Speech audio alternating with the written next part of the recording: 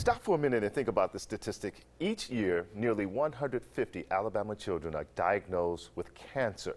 That's why CBS 42 is committed to helping find a cure to childhood cancer. Jamie's live at Children's of Alabama with more on how you can help out with the fight. Jamie. Oh, that's right. There's too many of them, if you ask me. And I know that a lot of families who deal with it have a lot on their shoulders, and especially those kids who are dealing with childhood cancer. But I want to introduce you to 18 year old Alex Swatter. What a resilient 18 year old young man he is, and he is a survivor. What started out as a bruise turned into something much more serious for Alex. When he was eight, Uh, also, being a competitive dancer, his mom found a lump on the back of his neck after a national dance competition. That was back in 2007. It turned out to be a tumor. Three surgeries, months of chemotherapy, and numerous hospital stays.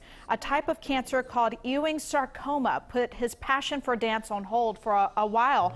And now Alex is in remission. He's back dancing again and also giving back to other kids who may experience those scary experiences that go along with having cancer. Take a listen at what he has to say about it. We always try and um, listen listen out for new diagnosed uh, new patients um, so that we can make try and make them feel as special as possible. Um, even while they're here, so we give them chemo monkeys or whatever we can possibly do. And um, yeah, every time I hear about a new one, I'm just like, wow, another one is um, having to go through what I did. So um, yeah, we need to find a cure.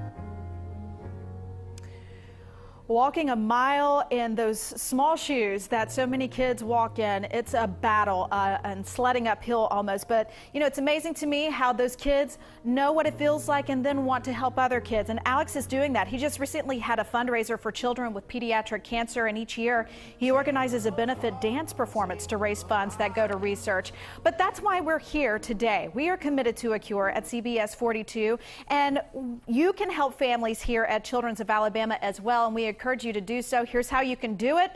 Text the word CURE, C U R E, to 36729 or jot this number down. You can call 888 499 kids and make a donation that way. And we want more children like Alex to be survivors of this, so we definitely need your help. Coming up in just a little bit, hear from five year old Grace, who went through some similar experiences as well.